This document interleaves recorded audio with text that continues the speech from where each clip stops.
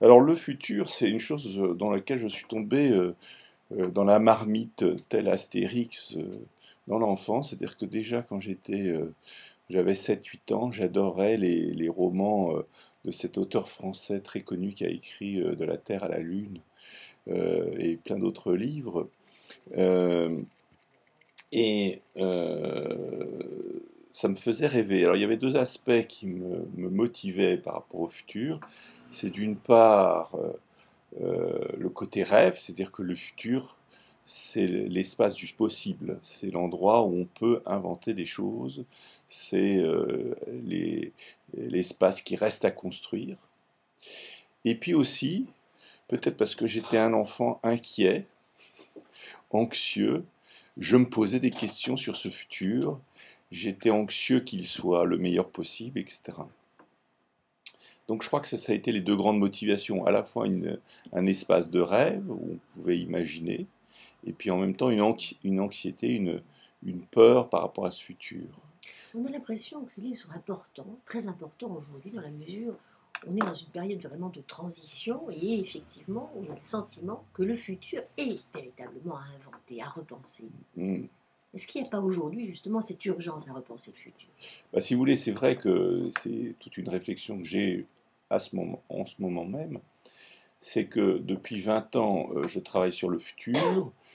J'explique qu'on va vers une grande période de transition et de transformation profonde, qui est sans doute, même si ça paraît énorme de dire ça, mais euh, c'est 20 ans de recherche, et je le dis tout à fait posément, on est, pour des tas de raisons sans doute, à l'aube et à l'intérieur même, même plus à l'aube, on est à l'intérieur même de la plus grande période de changement de tous les temps historiques. C'est pour des tas de raisons euh, euh, fondamentales, ne serait-ce que pour une raison très simple, c'est que euh, on est, il faut attendre des, millions d'années pour retrouver une période similaire à la nôtre, au sens par exemple de la disparition des espèces.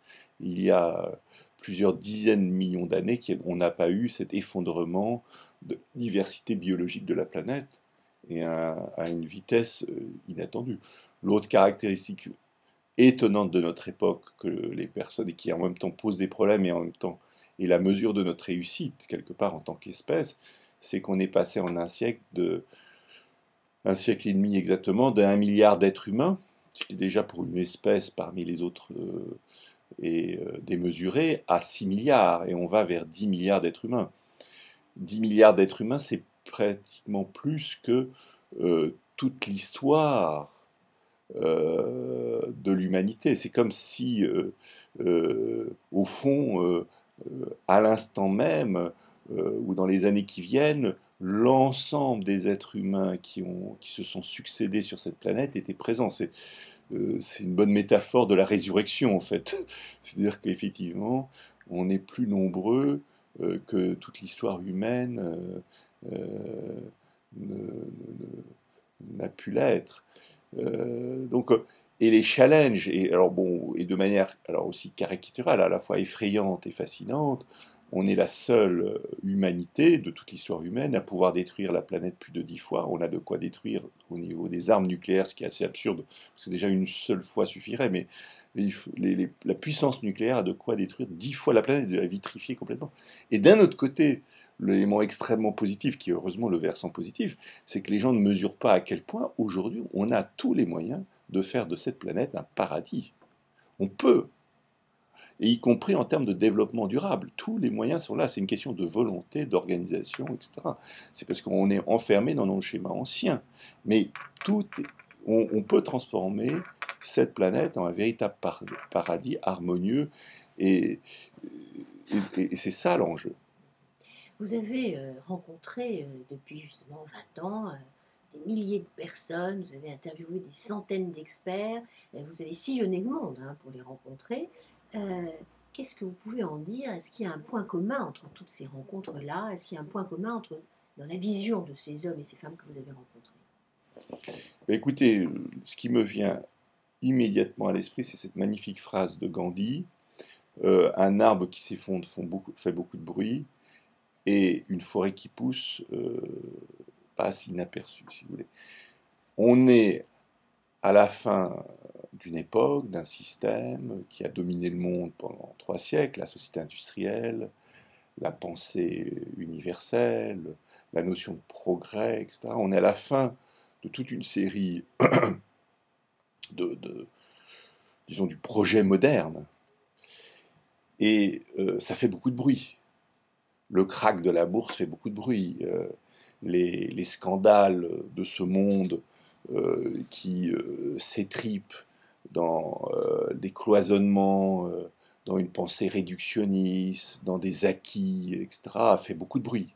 Ce qu'on ne voit pas, c'est, et ce qui est magnifique quand on voyage et qu'on se met à l'écoute, c'est on voit des milliers de gens qui sont en train de créer une nouvelle culture, qui sont en train de créer une nouvelle civilisation dans le silence, avec, euh, alors que beaucoup d'hommes politiques sont dans leur ego. Au contraire, vous avez plein de gens extrêmement humbles, absolument pas relayés par les médias, qui font des choses absolument extraordinaires aux quatre coins de la planète. Et ce qui m'a extraordinairement étonné dans cette révolution qui est en train de, révolutionner littéralement la planète, mais d'une manière silencieuse et extrêmement douce, c'est que tous ces gens, même s'ils travaillent depuis 20 ans, sont animés par un état d'esprit qui est commun. Et ils n'ont pas eu à se coordonner, ils n'ont pas eu à construire une nouvelle idéologique. C'est pas un mouvement idéologique c'est un mouvement qui vient du cœur, qui vient de la présence et qui vient d'une compréhension profonde de notre temps.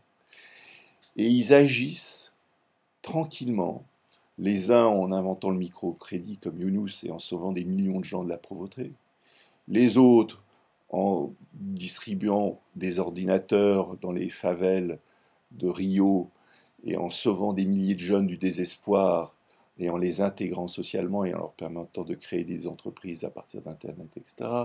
Les autres en créant un numéro de téléphone pour les enfants désespérés en Inde, ce qui permet à des milliers d'enfants de sortir de la rue et de euh, se réintégrer. Enfin, il y a une multitude d'actions partout dans le monde, tout ça dans un esprit de, de, de profonde compréhension des enjeux planétaires et en même temps d'engagement local. Ce livre, euh, Michel Salofkost, est assez surprenant. Hein. Ce livre a pour titre donc Les horizons du futur. Il est surprenant parce qu'en fait, c'est une sorte de patchwork. Et euh, on peut, euh, je veux dire, le commencer n'importe quel point du livre. Il a été aussi fait avec Karine Dartigueron, qui ajoute à, tout ce que vous dites de la poésie. Et elle a rédigé des poèmes qui donc introduisent chaque chapitre. Et elle est aussi l'auteur de, des peintures que l'on peut voir dans le livre. Pourquoi, un livre patchwork, Michel Salofkost ben, D'abord, euh, c'est vrai que c'est un, livre qui est vraiment, euh, j'allais dire, euh, l'enfant de deux personnes, de Karine d'Artigue-Pérou et de moi-même. Et je dois dire que c'est vraiment Karine qui, quelque part, l'a voulu j'étais euh, en train de préparer la, quatrième édition du management du troisième millénaire, et puis elle m'a dit, bon, ça serait peut-être bien que tu fasses même un nouveau livre. Et donc, euh, euh, elle m'a en quelque sorte vraiment poussé, managé, coaché, interviewé, etc. Et puis, il y avait dans cette idée de livre à deux le, le, côté féminin, masculin, évidemment, qui était très intéressant. Et qui nous renvoyait au cerveau gauche et au cerveau droit. Donc on a essayé de faire un livre qui soit à la fois rationnel, mais aussi artistique et aussi spirituel, avec des illustrations, euh, des textes euh, de réflexion philosophique, mais aussi de la poésie et des, des peintures.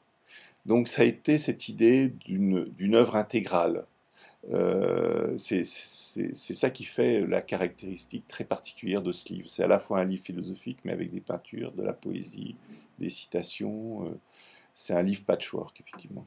Alors vous dites euh, dans l'avant-propos que être humain, c'est se poser les trois questions essentielles, les trois grandes questions du bien, du beau, du vrai. En quoi ces trois questions nous projettent-elles vers le futur? Bah Parce que si vous voulez, en fait, toute la question du futur et de la prospective, c'est de faire advenir. Le, futur, il est à construire. Le futur, il a toujours appartenu à ceux qui, l'inventaient. Il n'est pas, pas, pas fatal, il n'est pas fatidique. Il est, il est à construire le futur. Et euh, c'est essentiel de le rappeler.